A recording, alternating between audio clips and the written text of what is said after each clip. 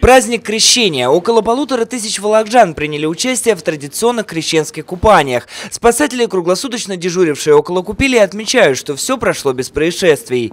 Всего в областной столице сделано две Иордании – у Спаса Прилуцкого монастыря и на Соборной горке. По поручению главы города Евгения Шулепова все было обустроено для удобства и безопасности волокжан. В первых рядах молодежь, поддержавшая призыв главы окунуться в крещенскую Иордань. Студенты, представители рабочих коллективов, члены молодежного парламента города.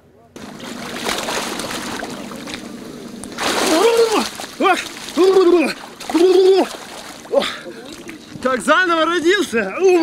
Всех поздравляю с праздником крещения. Это замечательный праздник.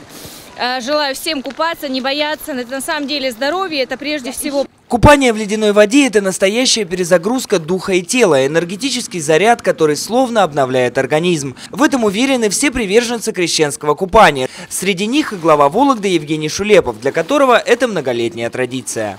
Егор Канавин, Михаил Протасов, Вологда Портал.